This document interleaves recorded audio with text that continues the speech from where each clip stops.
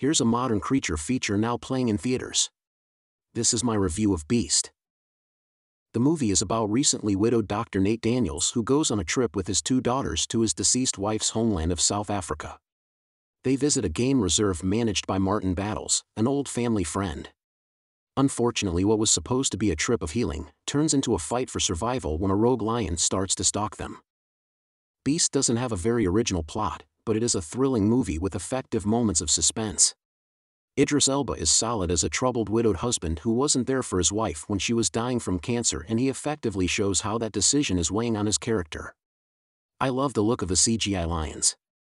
CGI for animals can be hit and miss, but I thought they looked really good here. Beast may be somewhat of a B-movie creature feature, but overall it is also a fun thriller that mostly works. I'm giving Beast 3.5 out of 5 stars with a thumbs up.